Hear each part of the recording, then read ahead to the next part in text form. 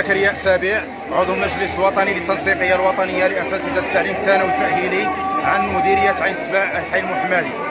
ها نحن حضرنا اليوم كل الأساتذة والأستاذات من جميع ربوع المغرب للتعبير عن غضبهم وللتعبير عن رفضهم للمخرجات التي جاءت بها الاتفاقات الأخيرة للحكومة مع النقابات وأيضا للتصريح الذي أدلى به السيد الوزير الأول أمام البرلمان. والذي يتنصل فيه من المسؤولية ويلقي فيه بالمسؤولية واللائمة على الساده الأساتذة والأستاذات ويقوم فيه بالتحريض بتحريض الآباء والأمهات على الأساتذة. ونحن حضرنا هنا لنجيبه ونقول له أن الشعب معنا وأن الآباء والأمهات معنا ونحن نعيش معهم يوميا ونعايشهم يوميا ونخالطهم يوميا ويدعموننا ويشجعوننا لأن كرامة الأستاذ من كرامة أبنائهم ومن كرامة بناتهم.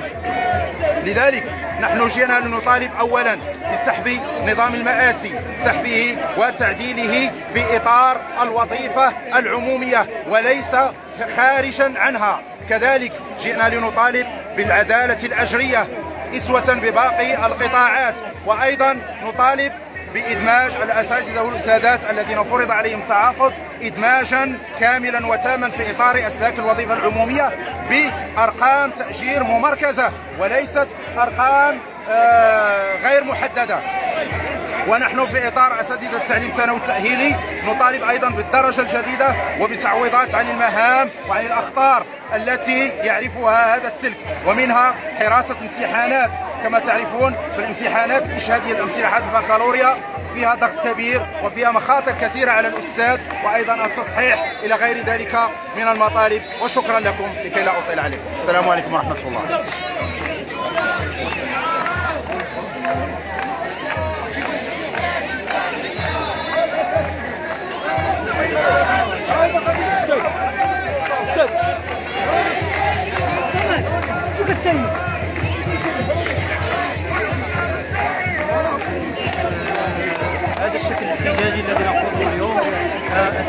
التاهيلي اي التنسيقيه الوطنية لاساتذه الثانوي التاهيلي والتنسيقيه الموحده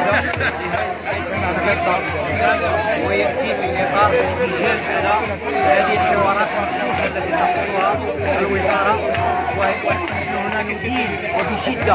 هذا التماطل وهذا التسويق الذي تنهجه الوزاره غير عابئه بهدر السمع المدرسي لملايين التلاميذ. كذلك ندين ما أقدم عليه رئيس الحكومة آه، في كلمته بالبرلمان عندما دعا امهات وآباء التلاميذ إلى إلى التدخل لايقاف احتجاجات الأساتذة. وهي دعوة نعتبرها نحن تحريضا مباشرا من لأمهات وآباء وأولياء التلاميذ ضد الأساتذة. نحن نخوض هذه الأشكال النضالية البطولية دفاعا عن كرامتنا ورغبة في تطوير المدرسة العمومية. ما يحصل حاليا ما يحصل حاليا لا يبشر بالخير. لذلك ندعو العقلاء في هذا البلد إلى التدخل من أجل إيجاد حلول ناجعة لهذه الاحتجاجات التي يخوضها أو تخوضها الشعيله التعليمية. احتجاجاتنا مشروعة تماما. نحن ندافع عن كرامتنا ضد هذا النظام الاستعبادي الذي ينزل علينا بالعقوبات والذي يحط من كرامة الأستاذ. لا بد من التدخل بشكل عاجل من أجل إيقاف هذا النزيف. نحمل المسؤولية لهذه الدولة التي يجب أن تتدخل فورا من أجل إيقاف هذا النزيف. ملايين التلاميذ اليوم ملايين التلاميذ لا يدرسون والسبب الأول والأخير لهذا التعاطي اللامسؤول مع هذه لهذه الوزارة واللجنة الحكومية. هذه الحوارات المغشوشة التي نعتبرها فخا وضعنا فيه هذه اللجنة الحكومية. نحن نطالب الآن بأن تتدخل هذه اللجنة الحكومية من أجل من أجل تلبية مطالب الشغيلة التعليمية. مطالبنا واضحة لا غبار عليها. لذلك نحن ضد هذا التماطل وهذا التسويف وهذا وضد كذلك هذا الإعلام المأجور الذي يشن حملاته على أساتذة وعلى نساء ورجال التعليم. شكرا.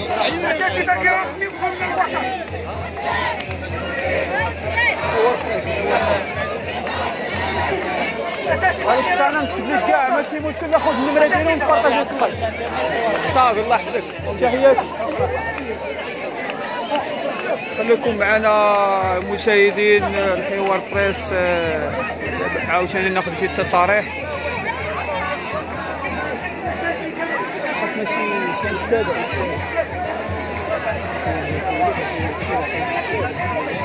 آه، صافي. فين هما الاستاذ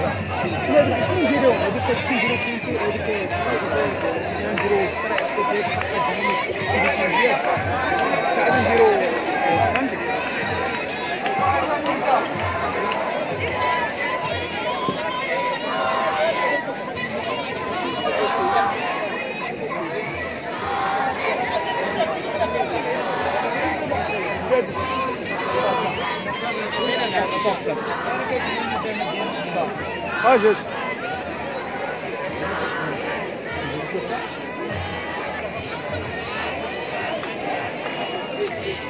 ما كتشعبية مقلق علينا هانية أنا محافظه على على الراحه هاني ها والله ما كيزيد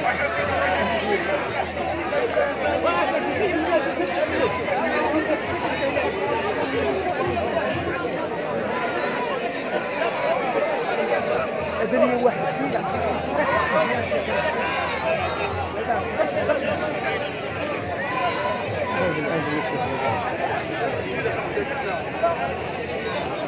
بغيت مكرهت شي وحدة. استاذه كاع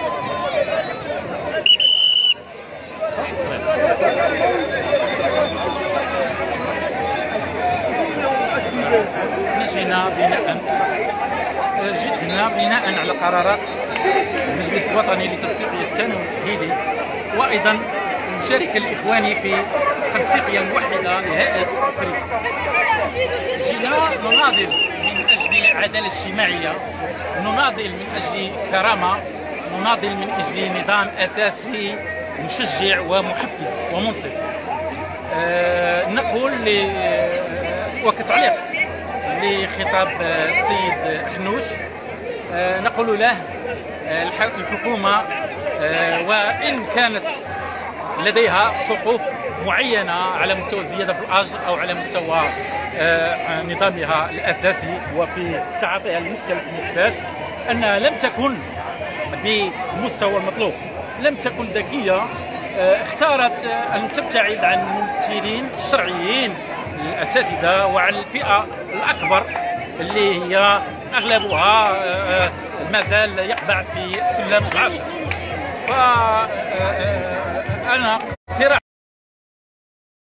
أسبقية لمعالجة أو لتحسين آه، الأوضاع والزيادة الأجرية بصفة عامة زيادة لجميع الفئات وإرجاء الملفات آه، الملفات الفئوية إلى ما بعد هذا آه، الحراك. آه، أيضا آه، آه، الأسبقية للسلم العاشر لأن هذا السلم يعاني من الحيف فلا يعقل آه، راتب موظف أستاذ آه، ثانوي تأهيلي يقبع في السلم عاشر لا يقدر على أن يبدأ مساره الحياتي بمختلف تحدياته ومختلف شكرا.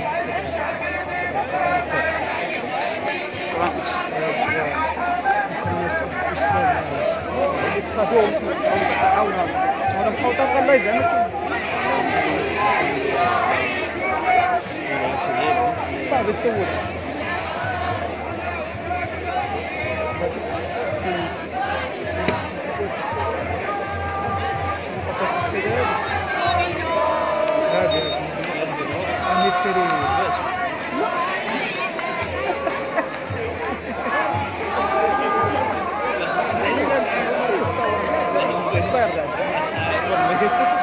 كان لقمنا كذا الله يبارك السير عاد حطي الدنيا جوج السيري ريال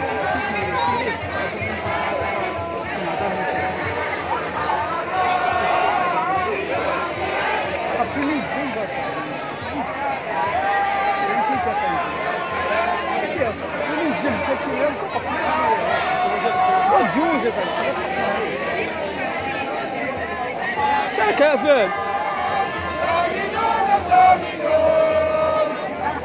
كما كتشوفوا مشاهدة الحوار بريس الآن مستمرين في هذا البث المباشر من الرباط المسيرة المليونية للأساتذة من أنحاء آه، المغرب.